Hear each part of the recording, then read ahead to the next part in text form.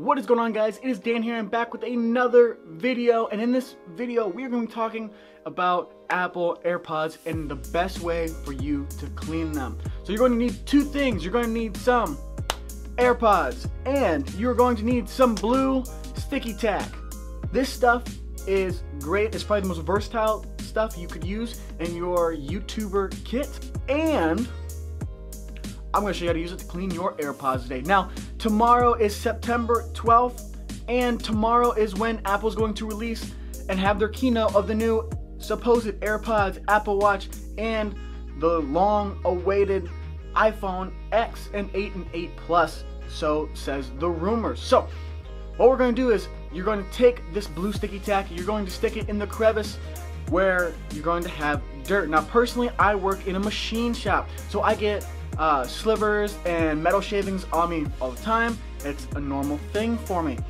But because the AirPods are magnetic, they naturally draw slivers into my pockets. With that being said, yes, I have stabbed myself several times with slivers because there's been some magnetized slivers. I've put them in my ears and I've been stabbed. So if you work in a machine shop and have AirPods, beware of that. So what I've been doing lately, and this is probably the best situation I've found, I have used air and air hose before, trying to blow them off, but they're magnetic and they're small, so they like to stick still.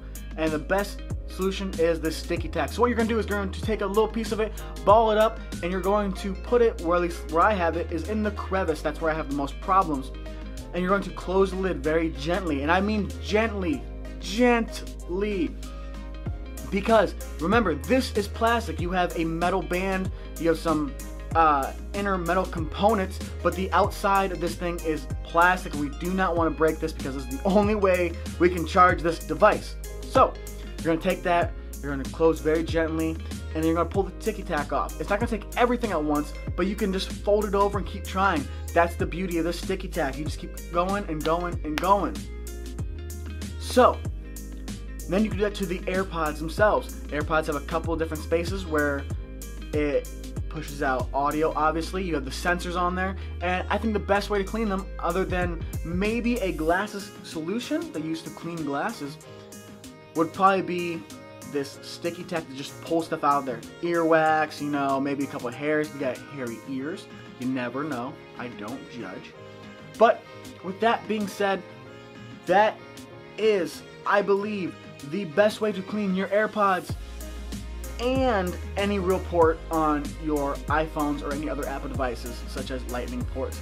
If you guys like this video, remember to like, comment, subscribe, and as always, forever till the end of time, Radaka.